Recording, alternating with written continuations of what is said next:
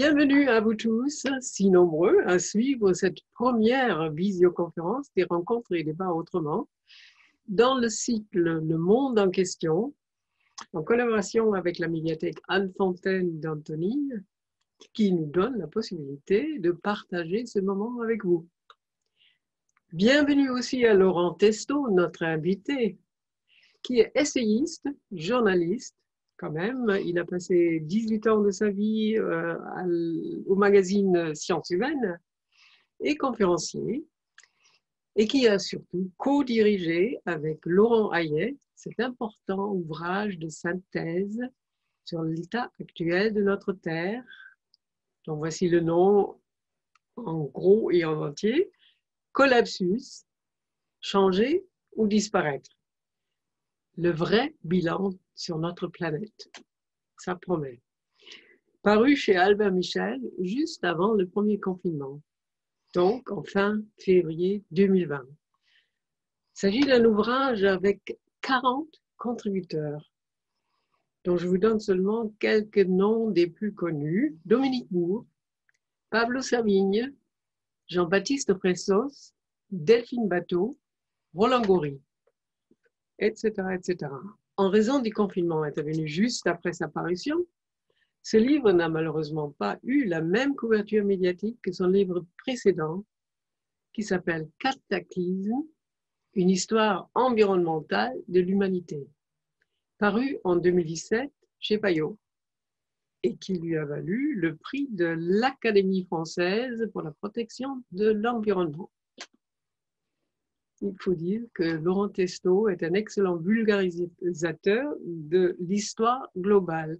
Et je pense qu'il va vous dire quelques mots sur ce qu'il entend par, ou ce qu'on entend par l'histoire globale.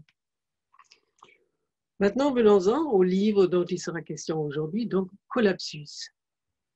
Ce qui fait sa richesse, vraiment sa richesse, c'est cette approche systémique où 40 spécialistes donnent leur point de vue sur l'effondrement. Du philosophe à l'agronome, de l'historien au politique, du psychanalyste au géostratège, du juriste à l'économiste, du biologiste à l'écoféministe. C'est un état des lieux de notre planète qui fait en fait froid dans le dos et qui accélère une prise de conscience nécessaire. Pour l'avoir lu d'une traite et avec passion, je dois dire. J'ai quelques questions pour Laurent Testo. Et la première concerne l'actualité. Notre maison brûle et nous regardons ailleurs. Écrit une de vos coétrises. C'est les mots de Jacques Chirac, en fait, euh, qui lui a soufflé un scientifique, euh, journaliste lui aussi, euh, qui est Paul Jean-Paul Déléage. Comment se fait-il que nos politiques, ainsi qu'une majorité tout de même des citoyens, se soucient si peu de la survie de notre espèce? Cette pandémie que nous vivons ne remet-elle pas encore et toujours l'économie au lieu de l'écologie au premier plan de nos préoccupations? Par exemple, on va suspendre le deuxième confinement pour le Black Friday, fête de la super consommation, qui permet de faire le plein des achats en solde et booster encore et toujours le PIB, le produit intérieur brut. Donc, en fait, revenir au business as usual. Pourtant, la pandémie n'était pas aussi une conséquence de notre mode de vie la prédation de la nature, l'exploitation sans frein des ressources, l'urbanisation rapide qui fait que les espèces autrefois sauvages se rapprochent des villes et augmentent le danger de la transmission du virus. Sans parler de l'extrême mobilité qui augmente le risque de contagion. Donc voilà ma première question à tiroir, je l'avoue, pour savoir en fait si nous n'allons pas revenir comme avant à la priorité de l'économie. Je vais répondre à cette question qui effectivement couvre énormément de domaines euh, à travers euh, bah, les deux ouvrages qui m'amènent à vous parler euh, aujourd'hui. le premier, c'est Collapsus que j'ai co-dirigé avec Laurent Hayé. Collapsus est un ouvrage collectif où 38 auteurs sont interviewés ou s'expriment autour de la notion d'effondrement. Et donc, elles rejoignent en creux tout ce que la pandémie euh, véhicule. Effectivement, euh, l'effondrement des écosystèmes entraîne certaines formes de vie à tenter de s'adapter à de nouveaux euh, milieux. C'est parce qu'en Asie du Sud-Est notamment et ailleurs, en Afrique, etc., l'humanité défriche de plus en plus d'endroits, détruit de plus en plus de forêts, que des formes de vie essayent de s'adapter au milieu urbain et anthropique et que notamment les virus circulent. Donc, euh, c'est une conséquence indirecte de ces atteintes environnementales qui sont décrites dans le bilan qui est Collapsus. Euh, d'une autre euh, façon, on peut effectivement affronter euh, ces problèmes par diverses solutions, ce que les experts sollicités dans Collapsus essayent euh, d'apporter. Ainsi, Valérie Cabane, euh, juriste, propose d'attaquer en justice et explique pourquoi c'est important pour sauvegarder ces mêmes écosystèmes, de définir le crime d'écocide dont on parle en ce moment, qui va passer déjà sous forme de délit, mais c'est un pas important en matière de justice environnementale. Donc, nous nous inscrivons avec Laurent Hayé dans la recherche à la fois euh, d'études, de regards multidisciplinaires sur ces différents problèmes et de recherche de, non pas de solution, il n'existe pas de solution, mais en tout cas de mise en œuvre de processus qui nous permettraient de créer un avenir plus désirable, moins négatif que celui que l'on devine à travers aujourd'hui les études scientifiques. C'est aussi en tant que journaliste scientifique que je travaille ces matières. Donc pour le livre que vous avez montré, Cataclysme, c'est une histoire environnementale de l'humanité qui rapporte la façon dont les humains ont altéré leur milieu et dont ces milieux les ont altérés depuis 3 millions d'années. C'est une synthèse en fait d'une histoire environnementale qui se fait trop souvent ailleurs qu'en France, aux États-Unis notamment. Et on y voit également en creux le rôle extrêmement important des épidémies. Peu de gens savent que si les Européens ont pu s'emparer très facilement des Amériques au XVIe siècle et très difficilement de l'Afrique et seulement à partir du XIXe siècle, c'est pour une question épidémiologique simplement parce que euh, nous, dans l'ancien monde, c'est-à-dire le bloc constitué par euh, l'Afrique du Nord euh, et l'Eurasie, nous avons vécu en communauté avec le bétail, donc énormément de maladies comme la rougeole, la variole, etc., avaient circulé dans nos communautés. Les Amérindiens, eux, ne connaissaient pas ces maladies. Elles les ont décimées en masse. Au moment où Colomb débarque en Amérique, il y a 60 millions d'Amérindiens, plus ou moins de 10 millions. Euh, un siècle plus tard, il en reste moins de 5 millions, ce qui explique la facile conquête euh, par les Européens de ces continents. À l'inverse, l'Amérique, elle, était efficacement défendue par ces pandémies, la fièvre jaune, le paludisme dans sa version mortelle, euh, la plus mortelle, Plasmodium falciparum, et donc les pandémies ont autrefois dicté l'histoire et la géopolitique, et il n'y a pas de raison que ça continue. Nous sommes dans une course avec elles euh, à, l'efficacité. Et à chaque fois, nous avons parfois des coups d'avance avec euh, différents produits comme les antibiotiques ou différents antiviraux. Mais euh, ça ne veut pas dire que, comme ces êtres, même les virus sont vivants, en fait, ils s'adaptent au contexte et donc ils vont continuer à nous réserver des surprises comme la Covid aujourd'hui. Donc vous le voyez, votre question amène beaucoup de réponses potentielles. Euh, on pourrait décliner ceci d'autres façons, euh, mais nous allons donc euh, continuer. La deuxième question porte sur les injonctions paradoxales que nous subissons tous. Pourquoi presque le monde entier, y compris la Chine, le premier pollueur du monde, a succombé à ce rêve occidental de la prospérité pour tous. Alors qu'il n'y a qu'une minorité qui en profite en réalité, 2 milliards sur les 10 milliards d'êtres humains sur Terre. Comment lutter contre cette injonction paradoxale de la croissance, la sacro-sainte croissance? Alors qu'en même temps, on prétend vouloir lutter contre le réchauffement climatique. Et de l'autre question, la question cruciale se pose, comment rendre la frugalité ou la décroissance désirable? La simple logique ne semble pas suffire. Est-ce pour cela que les effondristes ont recours à la peur? Alors, il y a beaucoup de questions en une. Donc, je vais déjà répondre très rapidement sur les effondristes. Je ne me considère pas comme effondriste parce que, ou collapso, peu importe quel terme on emploie, parce que cela sert à catégoriser des gens dont on estime, à tort ou à raison, à mon avis à tort, euh, qu'ils ont déjà jeté le bébé avec l'eau du bain et qu'ils pensent que le monde est foutu. On les dépeint en prophètes de l'Apocalypse.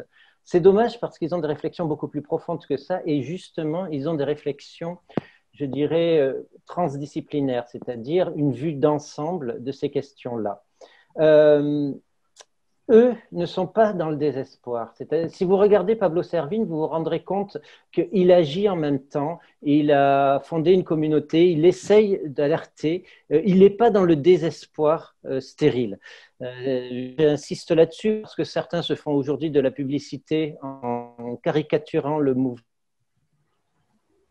et euh, ce n'est pas franchement quelque chose qui est euh, défendable moralement.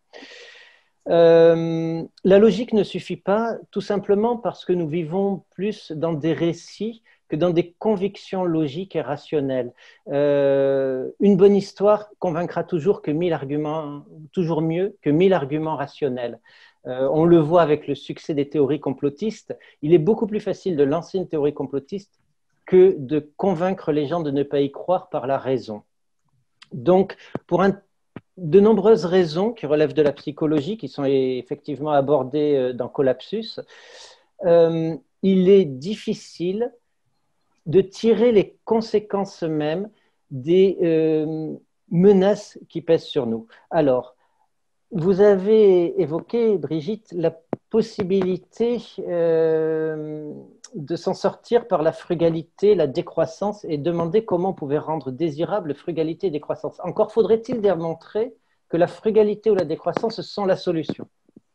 Je n'en suis pas certain, ça se discute. Voilà. Pour en revenir donc sur la trajectoire qui nous a menés là, avec laquelle je me sens beaucoup plus à l'aise, puisque Cataclysme, c'est une histoire environnementale de l'humanité, c'est-à-dire une dissection sur le temps long des processus qui nous ont menés là. Euh, on peut dire qu'effectivement, nous sommes aujourd'hui un peu moins de 8 milliards sur Terre et qu'on estime qu'environ euh, un tiers de ces 8 milliards sont dans une position dite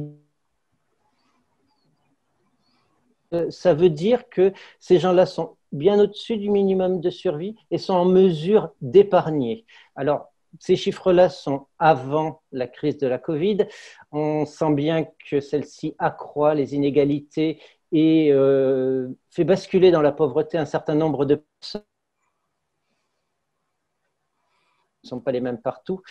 Euh, mais en très gros, euh, pourquoi est-ce qu'on reste collé au rêve occidental? Eh bien, il suffit de se demander à quoi ressemblait le monde il y a trois siècles, lorsque tout le monde avait à peu près le même niveau de vie sur la planète, c'est-à-dire un revenu par tête qui tournait dans ce qui est estimé l'équivalent de 300 à 500 dollars par tête de pipe, à l'exception de quelques élites qui étaient des rois, des prêtres, que sais-je encore, eh bien, ça voulait dire que quand vous naissiez, vous aviez un risque sur deux de ne pas passer vos cinq ans parce que vous seriez emporté par une maladie ou une famine.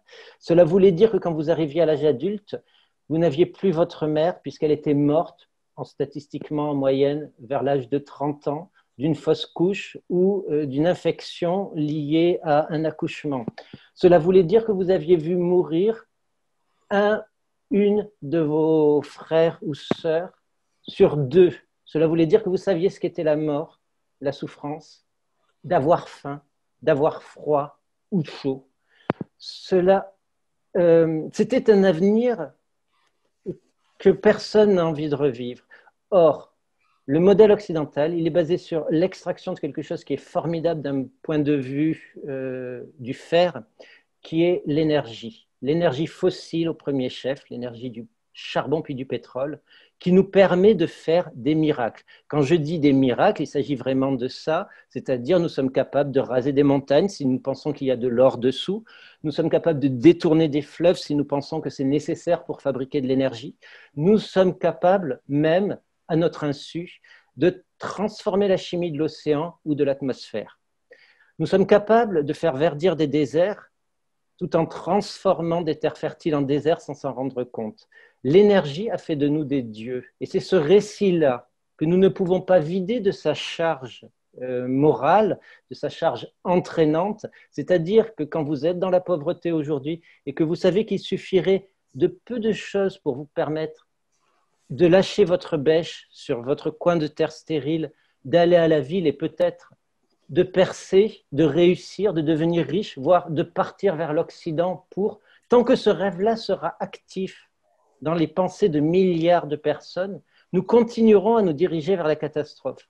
Ce qu'il faut faire pour rendre au-delà de récits qui rendraient la décroissance désirable, la décroissance, elle ne peut être rendue désirable que pour des gens qui ont déjà connu la croissance et qui se disent attention, c'est trop dangereux. Mais elle ne sera pas rendue désirable pour les centaines de millions de Chinois ou d'Africains qui aujourd'hui rêvent encore de prospérité. Donc il faut tuer le rêve occidental si on veut infléchir la trajectoire de l'humanité vers quelque chose de durable. Et euh, la décroissance est une des options, mais ce ne sera probablement pas l'option retenue. En tout cas, ce n'est pas forcément l'option la plus opérationnelle. Dans ce livre, vous donnez aussi la parole aux optimistes ceux qui proposent des solutions, soi-disant solutions, ceux qui croient à la révolution verte, à la géo-ingénierie, aux transhumanistes, de plus en plus désunis d'ailleurs, donc moins efficaces. Et même les collapsologues, comme Pablo Servigne avec son co-auteur Gauthier Chapelle, ont écrit un livre qui s'appelle L'entraide seule réponse viable pour l'effondrement, à savoir euh, l'écroulement de notre système néolibéral comme un château de cartes. Que pensez-vous, Laurent Testo, de ces solutions ou propositions? Sont-elles crédibles? Euh, beaucoup de gens viennent aujourd'hui avec des livres de solutions. Euh, je crois que j'ai quasiment je me suis forcé de lire la plupart de ceux qui paraissaient en français et en anglais.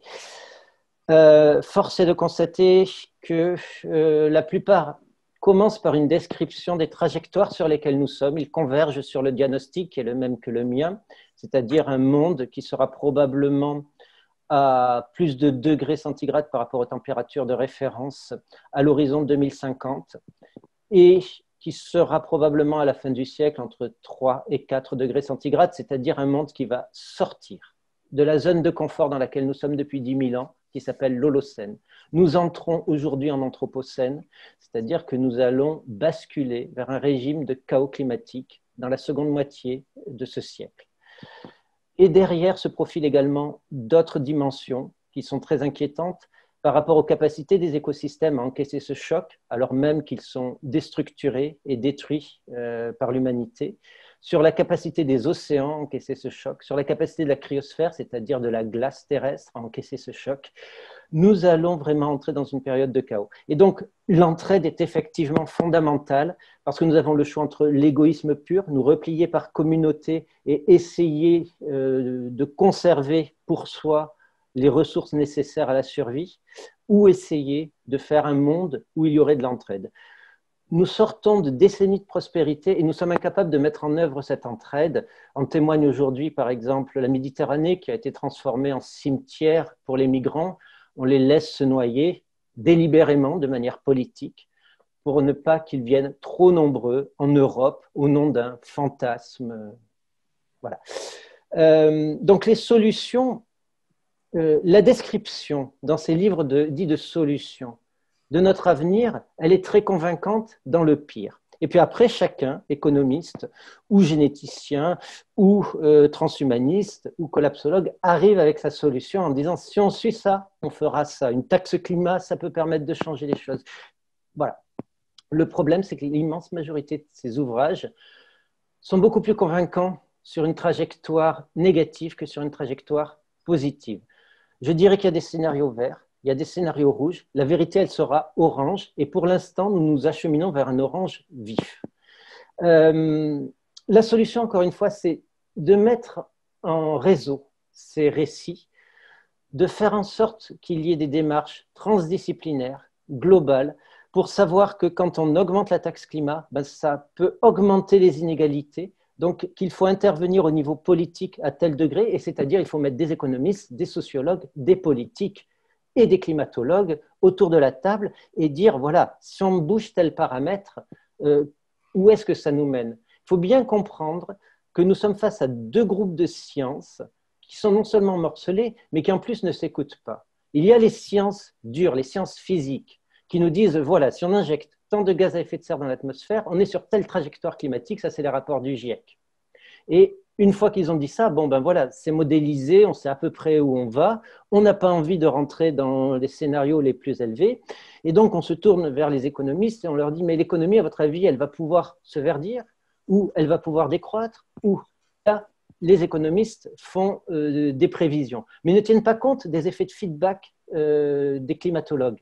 Et donc, tant qu'on n'arrive pas à mettre en œuvre des analyses transdisciplinaires où tous les chercheurs dialoguent à part égale sur les scénarios du futur, nous aurons toujours cet obstacle-là que les sciences physiques nous décrivent quelque chose qui va arriver et que les sciences humaines nous décrivent autre chose qui va affecter ces scénarios-là, parce que les sciences humaines affectent la quantité de gaz à effet de serre émis et obligent donc les sciences dures à reconsidérer leurs scénarios et nous continuons ainsi dans notre fuite en avant avec souvent des récits assez spéculatifs. C'est aussi là où je voulais en venir. C'est la croyance dans une économie euh, néolibérale. Ça ne sort pas de nulle part. C'est-à-dire que l'Occident s'est imposé au monde à travers notamment le capitalisme. C'est par le capitalisme, j'en parle beaucoup dans Cataclysme, que l'Angleterre, avec quelques millions d'habitants, a réussi à conquérir l'Inde euh, au XVIIIe, XIXe siècle, l'Inde qui comptait 150 millions d'habitants. Et ce n'est pas par une conquête militaire. les Anglais étaient bien incapables d'avoir assez de soldats et de les envoyer aussi loin. C'est vraiment par des mécanismes de marché, parce que l'Inde était déjà un marché développé avec des capitaux en circulation, que les Anglais ont pu s'introduire là-dedans. le capitalisme, c'est un récit. C'est un récit qui a été changé à plusieurs euh, époques. Il y a des époques de maturation du capitalisme du libéralisme qui est allé avec, qui l'a justifié. Et dans les années 1970, ce qui a basculé, ce qui a changé, c'est euh, la capacité de certains organismes à concentrer énormément d'argent. Euh, je pense aux fonds de pension américains, je pense aux fonds d'État souverains à base de pétrodollars après la, la, première puis la deuxième crise énergétique euh, des années 70 qui ont permis la constitution d'énormes masses d'argent et qui ont orienté complètement notre économie vers une économie de spéculation.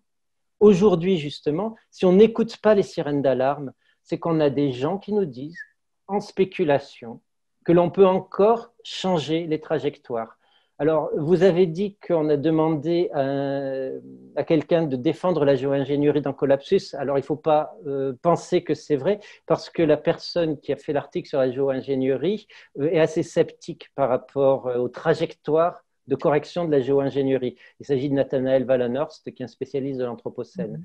Mm-hmm. la géo-ingénierie est unanimement décriée par la plupart des gens que vous pourrez auditionner parce que l'on trouve que c'est de l'ubris, une démesure complètement folle que de penser que l'on peut changer le système Terre, l'affecter de façon volontaire. C'est probablement le cas parce qu'il est beaucoup plus complexe que ce que l'on pense. On ne sait pas reconstituer un écosystème, on ne sait pas euh, désacidifier les océans, on ne sait pas, mais on va essayer. C'est ça le problème, c'est qu'on a énormément de fric à euh, investir. Euh, nous allons approcher de capitalisation boursière record cette année en dépit de la crise de la Covid-19. Et ces capitalisations boursières-là doivent partir vers des choses qui sont susceptibles de faire du profit, quitte, si ces choses-là s'avèrent être des bulles susceptibles d'exploser, à quitter pour les acteurs financiers euh, de ce jeu-là, à quitter la bulle avant qu'elle explose pour basculer sur une autre.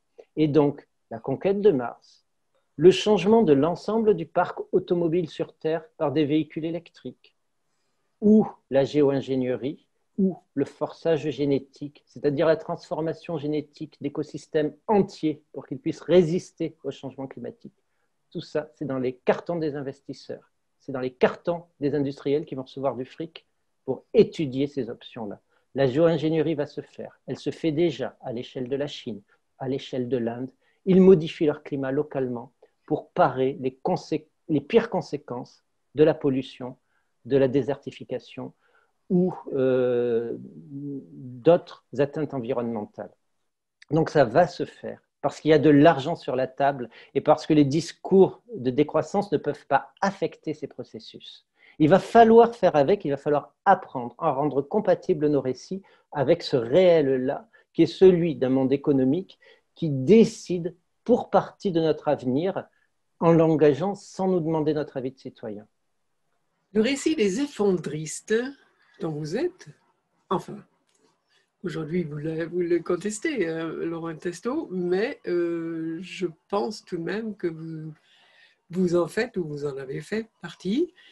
Je voulais euh, que le terme d'effondriste soit distinct de celui de collapsologue, puisque les médias prennent le terme de collapsologue pour quelqu'un qui tient pour certain l'effondrement, à l'image d'Yves Cochet qui annonce des dates, etc., ce qui est un récit à mon avis très simpliste je voulais que l'on adopte l'usage commun de qualifier d'effondriste euh, quelqu'un qui prenne l'effondrement comme une possibilité à étudier et non pas comme une certitude. Parce que pour moi, il y a quelque chose de fondamental. On ne peut pas connaître le futur. Donc on ne peut pas annoncer qu'il y aura un effondrement parce que personne n'en sait rien et personne ne sait même à quoi peut ressembler réellement un effondrement d'une civilisation thermo-industrielle. Donc c'est quelque chose qui est presque stérile comme débat. Je vais bien me définir comme effondriste si on retient que l'idée est que le futur n'est pas écrit et que l'effondrement est un horizon possible mais non certain. Voilà, c'était juste une précaution méthodologique. Merci. Donc le récit des effondristes fait-il trop peur ou réveille-t-il au contraire les consciences, tout au moins celles des jeunes, la génération la plus concernée? Les mouvements des jeunes générations, tels les désobéissants de Fridays for Future, initiés par Greta Thunberg, ou encore Extension Rébellion, que nous connaissons en France. Ceux-là, ils sont peu mentionnés dans ce livre excepté quand même par deux femmes politiques, Delphine Bateau, déjà nommée, et la conseillère, régionale d'Auvergne-Rhône-Alpes, Corinne Morel-Darleux. Quel espoir vous inspirent ces jeunes qui, face à l'inertie des politiques, il faut bien le dire, il faut bien le dire, luttent contre un changement? Non, il lutte pour, évidemment, lapsus grave, lutte pour un changement radical. Alors, euh, il m'inspire évidemment de l'espoir. Euh, il y a également un article qui conclut Cataclysme et qui montre l'importance que Laurent Hayé et moi-même avons voulu accorder à cette dimension-là. Euh, c'est un article d'un spécialiste en sciences de l'éducation, Renaud Etier, qui, qui en fait travaille sur que dire aux enfants? Comment leur dire qu'on est en train de saper les conditions de leur avenir? C'est un encadré. Non, non, c'est un article entier, à part entière. Bah, on peut regarder si. Ah oui, c'est une référence, d'accord, je l'ai vu, j'ai vu. Non, non, c'est pas une référence, c'est un article de Renaud Etier qui est le dernier article euh, du livre. Bref, peu importe. Euh, alors, euh, comment dirais-je par rapport au fait de s'alarmer, euh, il est légitime. Et euh, la peur peut être, euh, peut pousser à la prise de conscience et au militantisme. Extinction Rebellion est une façon de s'opposer à ces politiques, mais ce n'est pas une façon aujourd'hui décisive. Il y aura d'autres façons de le faire d'autres façons d'articuler la résistance euh, civile, etc. Euh, on a beaucoup parlé de Notre-Dame-des-Landes, du système des ZAD il y a quelques années. Aujourd'hui, on ne considère plus que ce soit un game changer. Voilà. Extinction Rebellion, comme les ZAD, euh, va avoir son temps et puis va ressurgir sous d'autres formes et peut-être amener une prise de conscience décisive. Si le mouvement euh, des jeunes pour le climat s'accroît en ampleur euh, médiatique, en ampleur politique, se traduit par des avancées réelles, de même que d'autres solutions qui sont avancées sur traduire l'État en justice pour une action climatique, ce qui commence à se faire, voilà, c'est ce genre de mouvement qui va entrer en synergie et peut-être orienter les trajectoires de, nos sociétés. Voilà, euh, donc ça inspire forcément de l'espoir.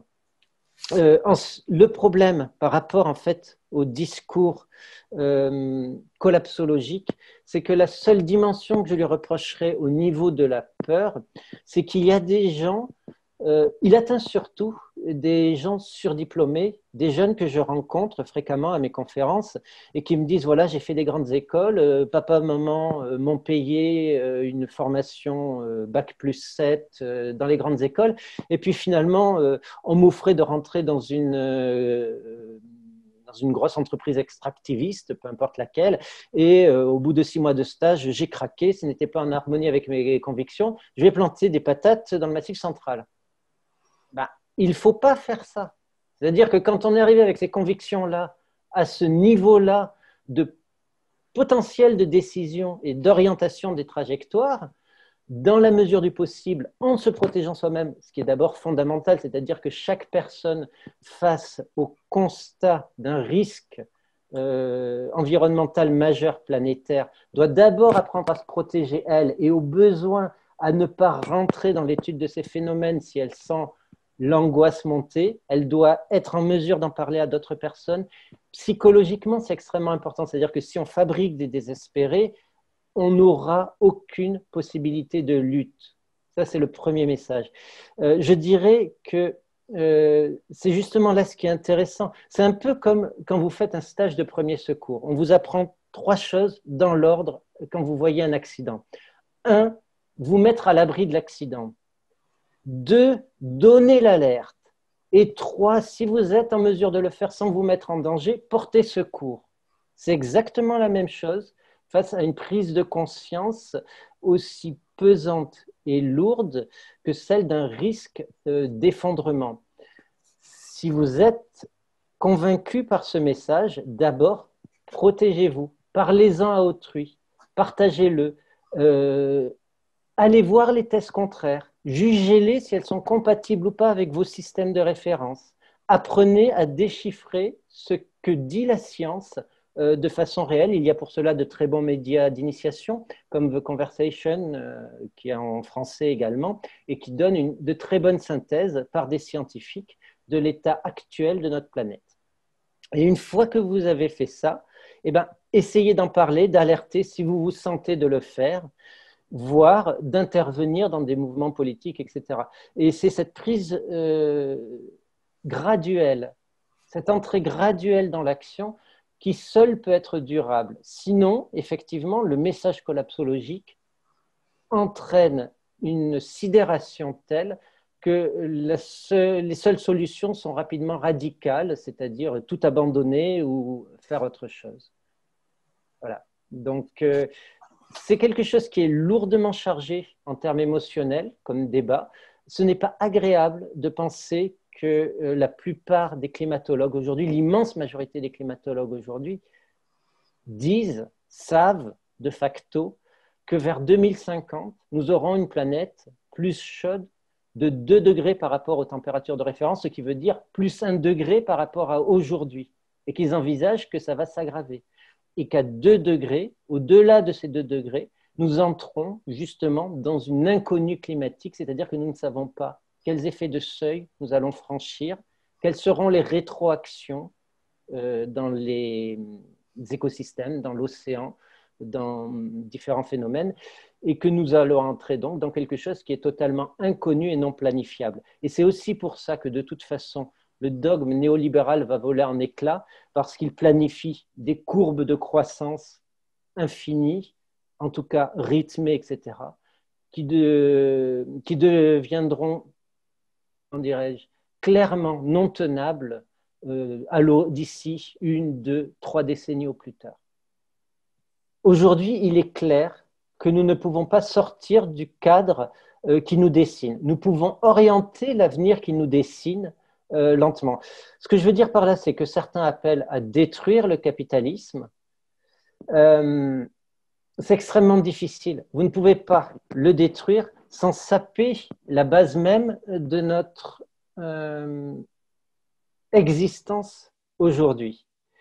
Euh, les solutions qui ont été évoquées, comme le transhumanisme, le transhumanisme, pour moi, n'est qu'un courant de pensée qui essaye de rendre acceptable une sorte de futur fantasmé et qui est sujet, qui est l'objet en fait de spéculation.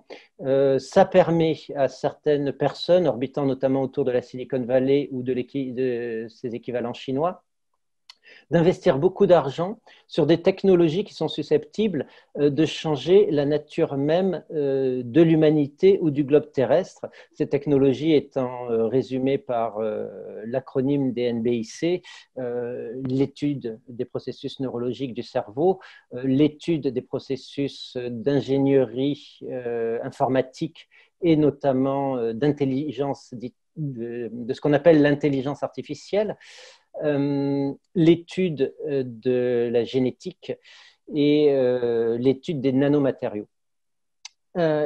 et le transhumanisme postule que l'on peut faire entrer ces quatre champs d'études en synergie de façon à surmultiplier les différentes dimensions de puissance de ces technologies, de les énacter euh, de façon plus forte en les renforçant l'une l'autre. Par exemple, il est clair que les processus informatiques de big data sont fondamentaux aujourd'hui pour booster euh, notre capacité à explorer les génomes. Euh, sans big data, on ne ferait pas de génétique de haut niveau aujourd'hui. Donc voici un exemple de convergence qui permet aux transhumanistes de dire on peut changer le monde, on peut changer la nature humaine, on peut changer la planète avec ces technologies pour notre bien.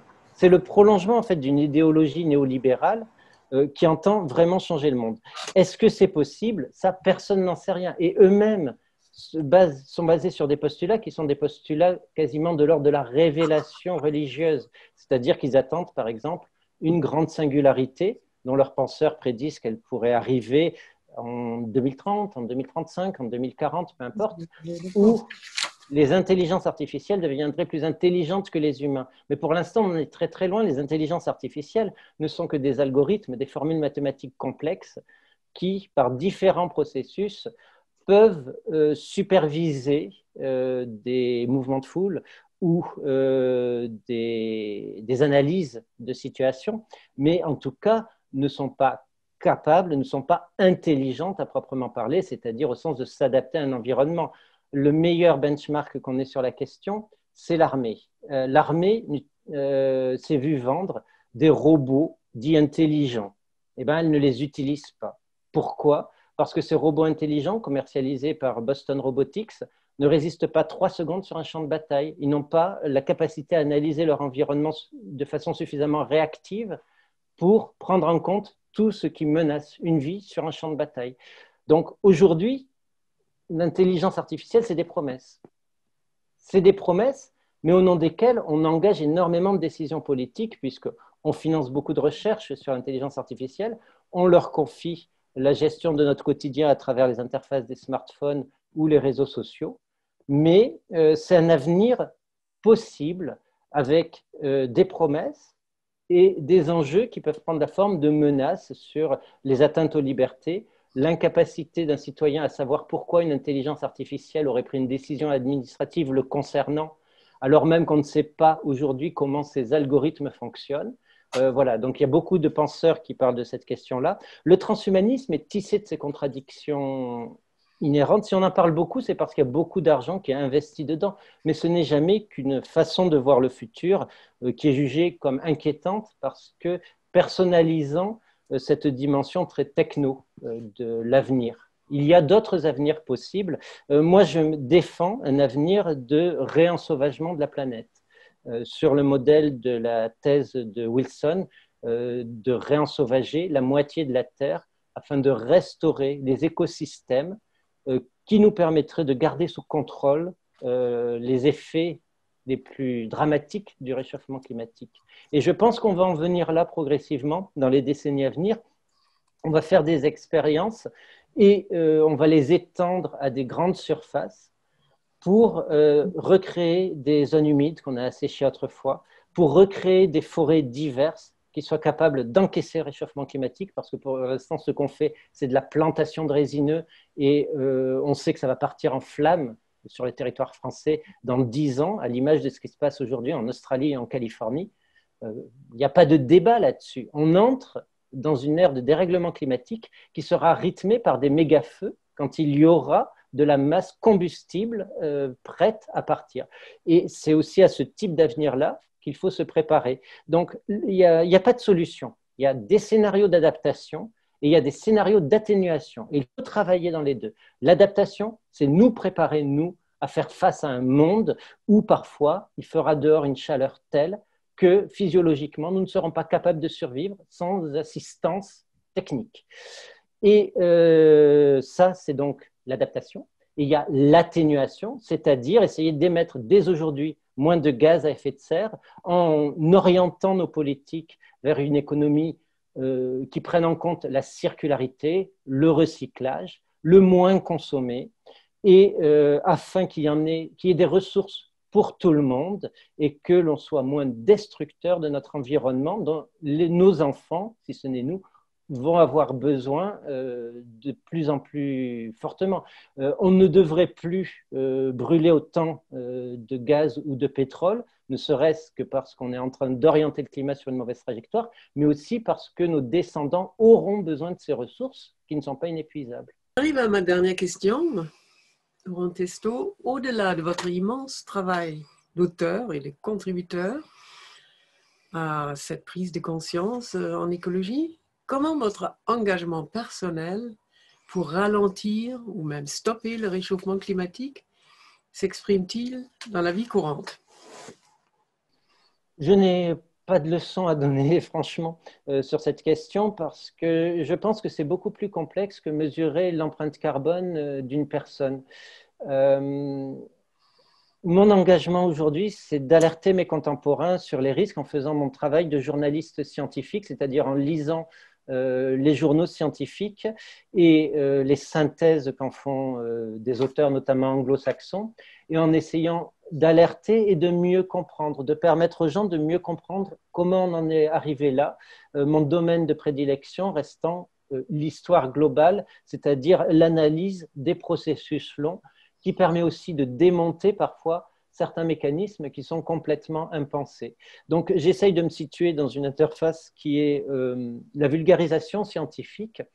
Euh, sinon, euh, ben, je marche beaucoup quand je suis à Paris, mais ça se limite à ça parce que j'adore la marche et que j'aime pas le métro. je mange bio parce que j'en ai les moyens aussi, parce que j'ai la chance d'être, comment dirais-je, d'être dans des milieux qui s'y prêtent. Mais euh, il y a évidemment des dimensions éthiques, manger moins de viande et surtout s'abstenir de manger de la viande issue d'élevage industriel parce que c'est quelque chose de profondément non éthique. voilà. après, c'est tellement banal que je pense que chacun devrait arriver à faire ce type de raisonnement euh, en réfléchissant sur ces questions-là et surtout sans juger. C'est-à-dire qu'on demande aux politiques qui arrivent dans un studio de radio qu'est-ce qu'ils font pour le climat? Ma foi, ben, ils font ce qu'ils peuvent, comme tout le monde, à son échelle. Voilà. Et euh, l'être humain est plein de contradictions. Euh, et c'est pour ça aussi qu'il faut apprendre à dialoguer entre nous à ne pas reprocher à autrui euh, d'être euh, moins vertueux que soi, parce que personne ne sait euh, quelles sont les conséquences environnementales de ces comportements. C'est très difficile à mesurer, et ce que l'on mesure aujourd'hui est vraiment orienté méthodologiquement à différentes échelles. On s'en rend compte quand on travaille avec des spécialistes de choses comme, par exemple, l'analyse du cycle de vie, Euh, c'est un outil formidable pour voir les impacts environnementaux, mais j'ai découvert récemment, en discutant avec des spécialistes, que l'analyse de cycle de vie était, coûtait très cher. Et donc elle était orientée par les donneurs d'ordre, ce qui permet à certains industriels du plastique de se prévaloir, grâce à l'analyse du cycle de vie, que euh, le plastique à usage unique euh, serait moins impactant en termes environnementaux que d'autres solutions dans leur champ industriel ce qui se discute parce qu'ils sélectionnent les critères euh, en, finançant ces analyses, ils sélectionnent les critères sur lesquels euh, s'exerce ce diagnostic. Donc il faut aussi apprendre, on n'en finit jamais d'apprendre, il faut apprendre à jauger ce que l'on nous dit euh, et à ne pas s'en laisser compter. Et c'est vraiment important de nos jours, on a encore accès à une information libre, mais malheureusement, on se laisse trop souvent tenter par une information spectacle. Les enjeux sont colossaux aujourd'hui. Euh, autour de notre avenir en termes de science. Donc il faut vraiment apprendre, s'éduquer à la science et en apprendre euh, les différentes facettes.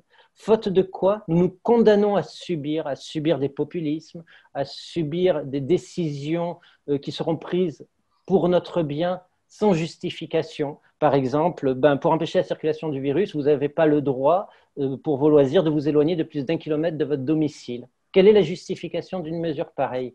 On ne sait pas, mais ça nourrit du coup des récits complotistes, qu'elle résulte, cette mesure-là, probablement d'une paresse de l'exécutif qui ne savait pas comment faire, quelle limite poser, et voilà. Mais il n'y a pas de justification sanitaire pleine et entière euh, à ce type de dispositif. Et donc, on va voir aussi, au nom de dispositifs qui nous échappent, écorner euh, nos libertés, nos capacités de penser. Donc, pendant que nous sommes encore aujourd'hui en mesure de penser, il est important de prendre les différentes dimensions scientifiques de notre avenir et euh, de les travailler de façon à savoir pour qui on vote, pourquoi on milite et euh, quel avenir on souhaite pour nos enfants.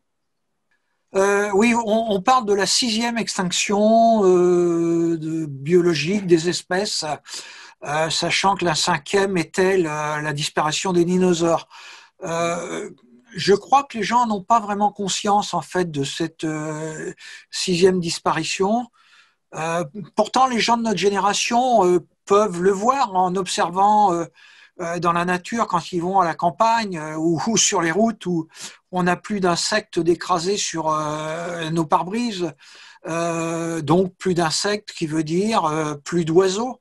Euh, comment, euh, disons, mettre en avant cette euh, question? Comment le montrer? Enfin, faire quelque chose, je ne sais pas.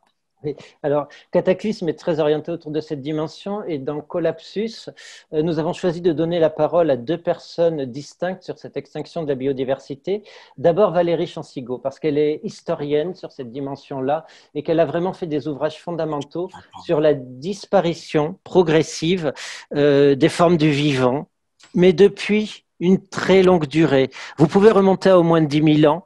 L'expansion de l'humanité sur cette planète c'est doublé de la disparition des grands animaux, de l'essentiel de l'effacement des grands animaux. Euh, je vais vous donner un exemple. Il y a 15 000 ans, euh, en Amérique du Nord, vous trouviez six espèces d'éléphants, d'éléphantidés, en fait, des mammouths, des mastodontes, etc. Elles n'existent plus et on ne pense pas à l'écosystème d'Amérique du Nord comme un écosystème de type africain, avec des éléphants, des guépards, il y avait l'équivalent du guépard là-bas, des loups géants, et différents autres animaux qui ont disparu. La même chose est arrivée en Europe il y a 20, 25 000 ans, en Australie il y a 40 000 ans, etc. Donc, la sixième extinction, on la compte à partir de quand?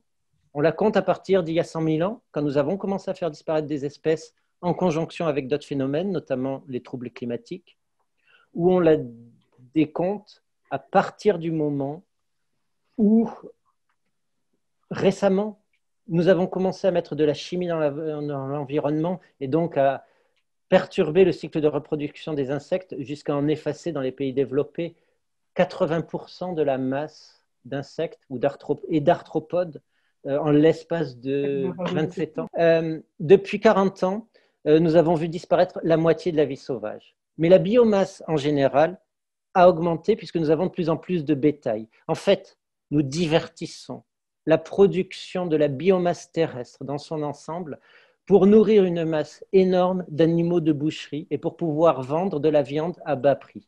Ça, ce sont euh, les processus contemporains et dans Collapsus, ils sont décrits euh, par le biologiste Gouillon euh, qui explique comment nous en sommes arrivés là. Donc ça, c'est de l'ordre du descriptif.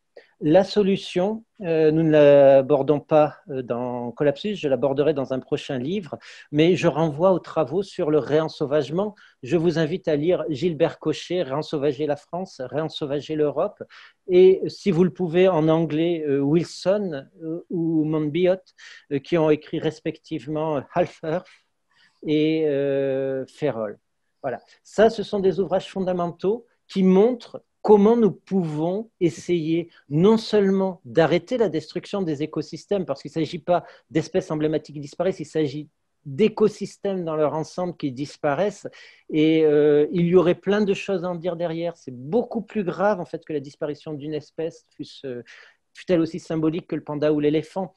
Les écosystèmes sont ce qui nous permet de vivre, de respirer, de boire et de manger si nous continuons dans cette voie de la destruction, on pourrait se passer dans l'absolu d'oiseaux ou d'abeilles, mais on ne peut pas se passer des services croisés que rendent les oiseaux et les abeilles en matière de pollinisation, en matière de circulation du vivant, en matière de respiration de la Terre. Nous ne pourrons pas vivre sur une planète stérile.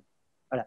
C'est aussi ça le cri d'alarme derrière, c'est que l'appauvrissement de la biodiversité sur Terre, l'effondrement des écosystèmes qui lui est vraiment enclenché pour le coup et qui se dirige vers une sixième extinction. Elle n'est pas encore actée, nous en sommes très proches, mais nous n'y sommes pas encore.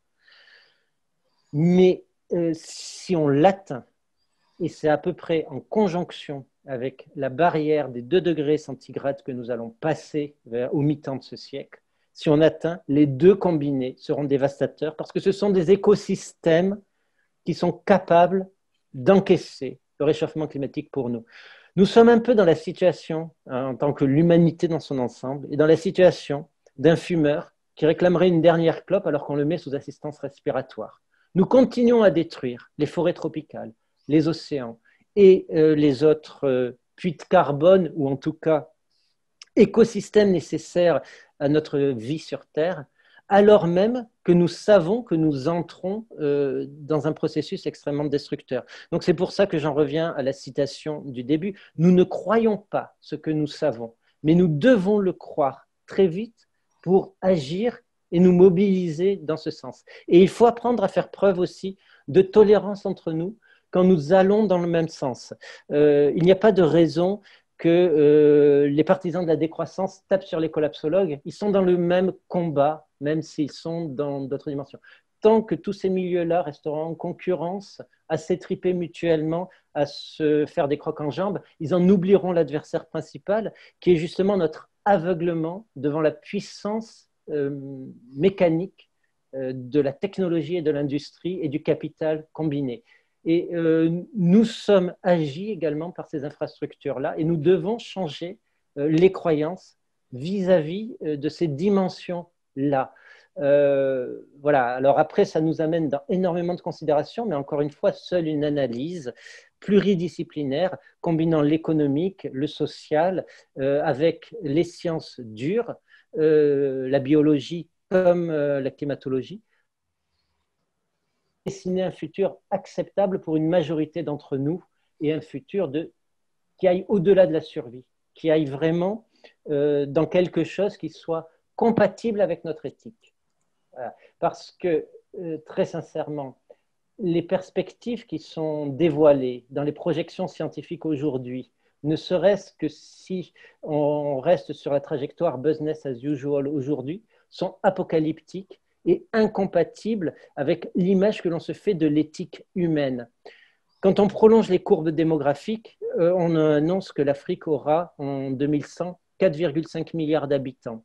Quand on prolonge les courbes climatiques, euh, on nous annonce que l'Afrique sera inhabitable sur plus de la, euh, les, plus de la moitié de l'année. Donc, comment les gens feront-ils? Est-ce qu'il sera éthiquement admissible de laisser 4,5 milliards de personnes dans un univers qui n'est pas compatible avec leur survie? Voilà. Si on veut éviter de se poser ce genre de questions à l'avenir, il faudrait s'y attaquer dès maintenant, y réfléchir dès maintenant. Merci Laurent. Euh, j'ai une question de Kugler. Excusez-moi, je n'ai pas de prénom. Fax, face à des informations scientifiques contradictoires et à des querelles de clochers de scientifiques, comment s'y retrouver? Peut-on, sans être de formation scientifique, faire, se faire une idée assez claire des théories développées avec un vocabulaire parfois complexe ou au contraire simplificateur à l'extrême? Alors, il existe euh, beaucoup d'ouvrages de vulgarisation avec des degrés euh, d'appréhension très divers. Euh, si vous voulez vous documenter sur l'Anthropocène, par exemple, Nathanael Wallenhorst a fait, dans une petite édition très accessible, un compendium des conclusions reconnues scientifiquement sur l'Anthropocène c'est un petit livre rouge, euh, j'ai oublié son titre, euh, La vérité sur l'Anthropocène. Voilà. Donc ça, c'est une synthèse scientifique faite par un scientifique sur euh, les trajectoires du système Terre dans le siècle à venir. Donc je vous invite à aller lire ça. Sinon, il y a des ouvrages plus ou moins compliqués. le CNRS édite une collection là-dessus aussi à destination d'un jeune public, mais dont on peut faire son profit quand on est un adulte. J'essaye moi-même de de, faire la promotion de ce genre d'ouvrage ou d'en écrire. Euh, voilà, après, ça dépend à, chacun de son niveau de réflexion. Deuxième question de Francine. Bonjour. Merci. Euh, que penser d'un personnage comme Elon Musk? Fou, visionnaire, paranoïaque? Même euh, du système du capitalisme spéculatif Qu'est-ce que c'est Elon Musk? C'est un gars qui arrive et qui dit aux investisseurs, voilà, je vais transformer euh, l'économie mondiale, je vais vendre des millions de voitures électriques, j'ai pas un rond, filez-moi euh, du fric. Et il fait une levée de capital en bourse. Au même moment, Renault essaye également de faire une montée en capital. Le résultat, c'est que Elon Musk a attiré à lui 20 fois plus de capital que Renault alors qu'il a rien. Il a zéro à son point de départ, si ce n'est euh, son physique euh, avenant et son charisme. Et que Renault, lui, pèse effectivement euh, comme constructeur automobile avec du bien du foncier, du savoir-faire, des ouvriers réels dans de vraies usines un peu partout sur la planète. Bref, pourquoi? Tout simplement parce qu'aujourd'hui, il y a qu'il n'y a d'économie réelle sur Terre. Donc cet argent-là doit s'investir au nom des actionnaires qui sont euh, les retraités notamment, c'est les fonds de pension, euh, des États riches, des, entités de cet ordre. Et donc, il fonctionne avec une promesse de rendement qui doit tourner dans les 10-20%. Sauf que la croissance à 10-20% n'existe plus euh, depuis les 30 glorieuses, depuis le premier choc pétrolier. on on peine à renouer avec ça et seuls les pays en voie de développement violent, comme la Chine, ont pu renouer un temps avec ça et puis euh, ils sont en train de quitter cette période-là. Euh, tout simplement parce qu'on ne peut asseoir cette croissance que sur l'extraction de ressources naturelles, l'extraction massive de ressources naturelles que l'on présume gratuites, ce qui est un défaut fondamental. Elles ont un coût, ne serait-ce que parce qu'elles ne sont pas renouvelables. Donc Elon Musk est l'incarnation même de ça, c'est-à-dire qu'en gros, il est en train de piller euh, les, stocks de lithium de la planète. Il n'y en a pas beaucoup. Hein. Euh, il y a deux pays dans le monde qui produisent l'essentiel du lithium sur, euh, sur cette planète. il est en train de... Voilà. Mais c'est une bulle. Elon Musk est une bulle. Voilà. Il est susceptible d'exploser à tout moment, mais à ce moment-là, les investisseurs s'estimeront suffisamment malins pour déceler des signaux faibles, notamment grâce à l'intelligence artificielle, et quitter le navire en revendant leur part dans, les sociétés de Musk et en allant vers quelqu'un qui leur promet encore du 10 ou 20% tout en sachant que c'est un fantasme. Les analystes financiers sont de plus en plus convaincus que notre poursuite folle de la croissance est un fantasme. Mais on a besoin de promesses de cet ordre-là pour rassurer euh, l'économie mainstream, face à quelque chose qui est euh, le réel euh, scientifique et qui leur dit ben, il y a des limites. Euh, donc c'était juste pour dire que Elon Musk incarne effectivement cette forme de capitalisme qui nous mène vers la destruction, mais c'est un capitalisme extrême. J'ai une question de Michel Descolonges. Pourriez-vous revenir sur la question des récits à croiser? Revenir sur la définition de ce qu'est un récit et sur comment s'y prendre pour les faire se rencontrer alors, un récit, fondamentalement, si je devais apporter une définition, c'est une production collective partagée par un grand nombre et qui euh, conditionne une vision du monde qui permet de rendre supportable le réel. Euh, c'est un peu compliqué, mais je vais donner un exemple concret. Euh, il y a une civilisation dont on admet qu'elle s'est effondrée, c'est l'Empire romain. Voilà. Euh, ça s'est passé comment? Ben, Au cours du IVe siècle, après énormément d'aléas et une résistance absolument euh, dingue, puisque l'Empire a su se réformer plusieurs fois, il a plongé dans une guerre civile qui a duré plusieurs décennies, il a été confronté à des vagues d'épidémies, et tout ça, il a tenu bon. Mais il était sur une dynamique telle que de toute façon, il s'affaiblissait et euh, se rétractait. Eh ben, il est apparu une nouvelle idéologie pour justifier ça et qui a dit il ne peut plus y avoir une société extrêmement inégalitaire avec des riches qui entretiennent une clientèle de gens à peu près aisés qui ne travaillent pas mais qui votent pour eux, qui sont les citoyens, etc. On va réviser ce système, on va plus faire du pain et des jeux, mais on va euh, créer, euh, promouvoir plus exactement, une nouvelle religion du partage ça s'appelait le christianisme. Et en gros, c'était le message, euh, selon Matthieu, euh, il est plus facile à un chameau de passer par le trou d'une aiguille qu'à un pauvre d'entrer dans le royaume des cieux. C'est ça un récit. C'est une formule qui dit aux riches, eh bien écoutez, vous allez en enfer si vous continuez à garder votre richesse comme vous le faites. Donc, confiez-la nous, créez des fondations pieuses, on va assister les pauvres, en communauté dans le Christ. Et on voilà, il y a un récit qui a transformé le monde et qui s'est adapté à un monde moins riche en ressources pour que la société survive à l'effondrement. Euh, donc, et c'est une construction collective. Hein. Bien sûr, on met en avant le rôle d'un tel ou d'un tel, d'Augustin ou d'Ambroise, pour expliquer que ces visionnaires-là ont construit. Non, ils ont eu des récits qui ont été pris par la multitude, recomposés pour faire cohérence avec le monde et pour accompagner un changement social qui s'imposait pour partie pour des raisons environnementales. Le monde se refroidissait, euh, les champs étaient moins productifs, etc. Et pour partie, euh, ils ont été euh, recréés, recombinés. Voilà. Donc c'est ça un récit. On ne peut pas l'orienter, on ne peut pas dire, une seule personne ne peut pas dire en arrivant, moi je vais faire un récit. Nous faisons des récits collectifs. Par essence, ils sont collectifs. Question de Marc Adon. Euh, pensez-vous qu'il existe des leviers concrets permettant à nos pays riches, hyperconnectés et mondialisés de repenser leur rapport au temps et aux distances, permettant de repenser le rapport aux autres et au voyage, sans attendre d'être dans le mur ou de devoir imposer des contraintes fortes? Je pense par exemple à la problématique du secteur aéronautique. Euh, c'est à la fois très spécialisé et très vague comme question. Euh, s'il s'agit de lutter contre l'aéronautique, euh, la façon la plus simple serait de taxer le carburant euh, à son atteinte environnementale et non pas avec une taxe à 0% sur le kérosène. Donc voilà, il faudrait que, pour moi, cela passe par un retour à l'État. Alors attention, je ne suis pas du tout communiste. Simplement, les États sont la seule dimension contraignante que l'on ait qui puisse agir à l'échelle planétaire aujourd'hui. Donc ce n'est pas euh, la meilleure ou la pire solution, c'est la seule aujourd'hui, on fait avec. Donc il faut que les États reviennent et recadrent en disant, euh, quand ça pollue, c'est taxé. Et euh, si on appliquait ce simple principe à l'agriculture ou au transport aéronautique, on l'amènerait déjà vers plus de vertus. Donc il faut aussi se battre pour ça, euh, à l'image du député euh, Laroutourou, député européen aujourd'hui, qui est en grève de la faim pour que justement il soit introduit une taxe euh, voilà, à l'échelle de l'Europe. Vous pouvez vous renseigner sur cette question.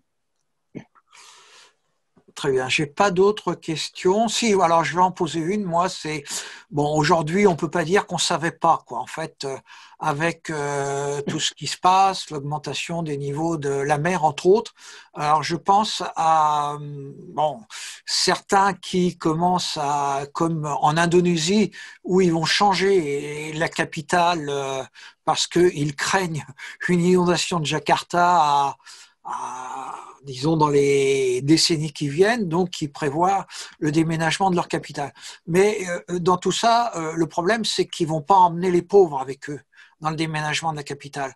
Euh, donc, quand on parle de, collapsologie, c'est les plus pauvres, je pense. donc, c'est une collapsologie, disons, sociale aussi qui risque d'y avoir.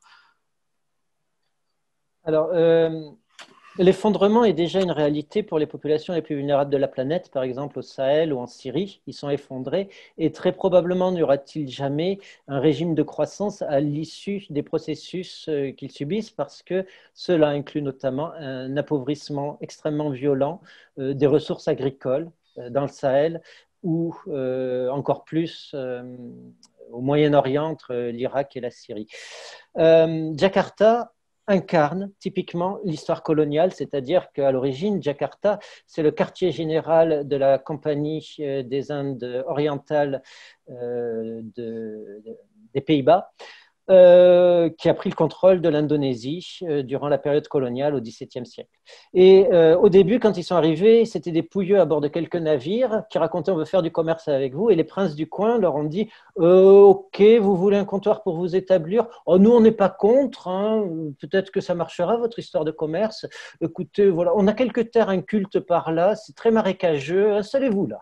Voilà. Et voilà, c'est pour ça que la capitale de l'Indonésie, elle est dans un endroit franchement pas conçus pour accueillir une grande ville.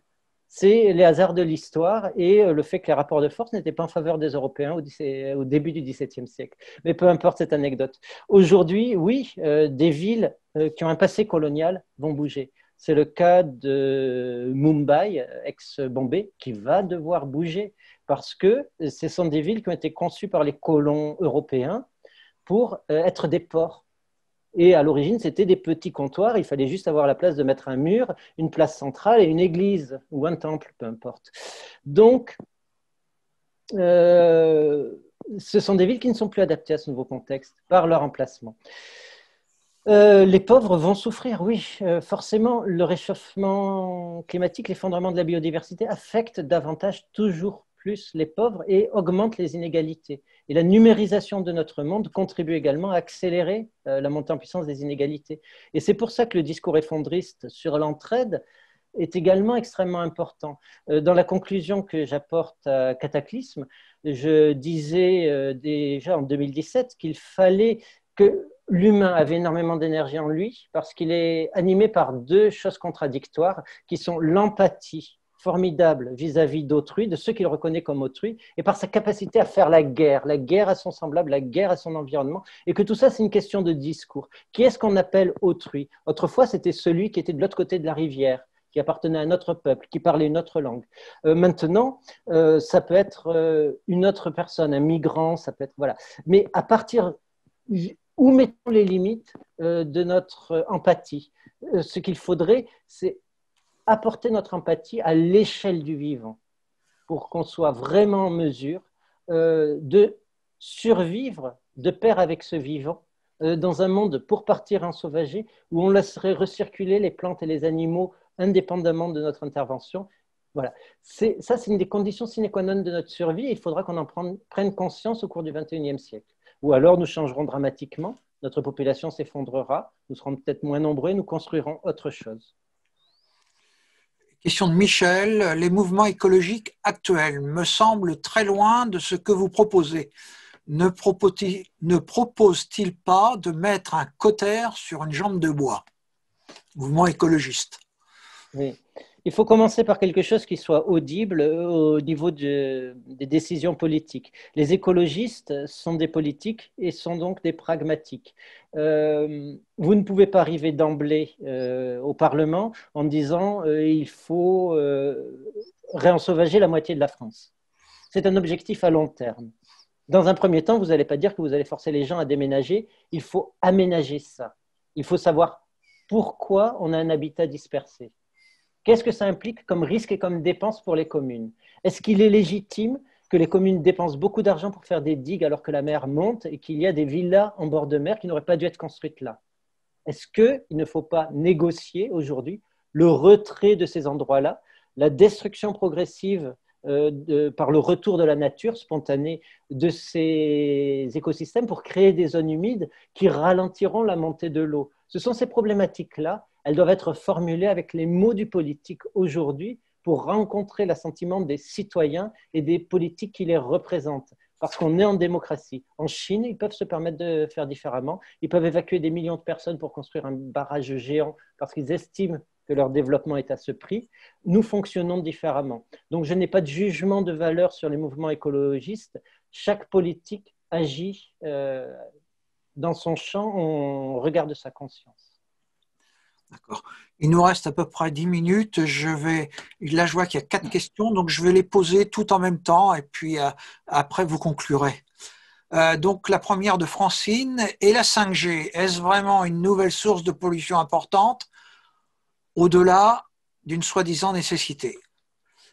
Ensuite, de Dallaporta, c'est Bruno. Est-ce que les grandes villes comme Paris ont de l'avenir ou sont-elles trop énergivores et vouées à régresser euh, Michel, l'entraide, n'était-ce pas une proposition de l'anarchiste Kropotkin à la fin du 19e siècle? Tout à fait. Alors, pour, euh, je vais répondre à la troisième tout de suite. Oui, euh, le livre de Pablo Servigne et Gauthier Chapelle sur l'entraide est basé sur une lecture de Kropotkin, qui était une des solutions de Kropotkin l'entraide.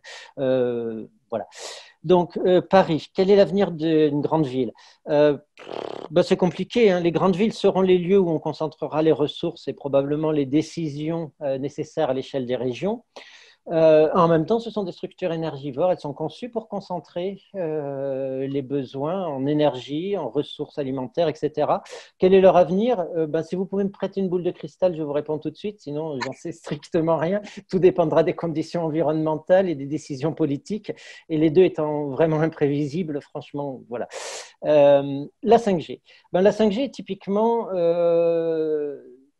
une histoire aussi de capitalisme spéculatif, c'est-à-dire bah, il faut faire circuler plus de données. Personne ne sait vraiment pourquoi. Enfin, si on le sait, euh, c'est pour permettre euh, un développement économique du big data dont on estime probablement à raison qu'il est nécessaire à des sociétés de plus en plus interconnectées. Donc ça profitera surtout aux entreprises qui manipulent des gros volumes de données. Ça profitera guère aux citoyens, sinon sous forme de meilleurs euh, débits en vidéo. Euh, ça va bouffer beaucoup de ressources énergétiques, c'est clair. Non pas parce que la technologie est plus vorace en énergie, elle est un peu moins vorace que ce qui l'a précédé, la 4G, euh, elle est plus efficace, mais il y a un effet rebond euh, qui est que quand une nouvelle technologie est disponible, euh, même si elle consomme moins d'énergie, au final, elle va en consommer plus parce qu'elle est rendue plus accessible à un beaucoup plus grand nombre de gens. Donc, c'est un effet pervers, bien connu. Hein, on le sait depuis les exploitations de charbon du 19e siècle, lorsqu'on l'a théorisé en Grande-Bretagne, c'est dire à quel point ça remonte. Donc, oui, ça va bouffer plus d'énergie. Ça va obliger à changer tous nos smartphones qui sont des choses très polluantes. voilà, donc c'est une décision typiquement prise par la sphère économique qui a besoin de ça euh, et euh, c'est présenté comme étant une nécessité. C'est vrai que pour, euh, sur la 5G, les effets sur les gaz à effet de serre du numérique aujourd'hui sont d'environ 4%. Et donc, ce qui est énorme, hein, le fait qu'on d'avoir un ordinateur, de, etc., etc. Et on prévoit d'ici euh, 10 ans, donc c'est, ça passe à 9%, donc ce qui sera euh, tout à fait euh, énorme. C'est une illustration de la nécessité d'avoir des États qui mettent le tape du poing sur la table et disent ben, euh, l'obsolescence programmée, c'est inadmissible. Vous devez avoir, au lieu de smartphones que vous êtes obligé de jeter au bout de deux ans, des smartphones sur lesquels vous ajoutez juste une puce pour accéder à la technologie suivante. Euh, vous devez, voilà. Il y a énormément de solutions développées euh, au niveau des penseurs de l'économie circulaire ou de l'économie durable que les États pourraient obliger les entreprises à mettre en œuvre. Par exemple, aussi, les entreprises stockent énormément de données. la dépense énergétique, en fait, d'Internet est essentiellement lié au stockage de données euh, par les entreprises pour pouvoir faire du big data.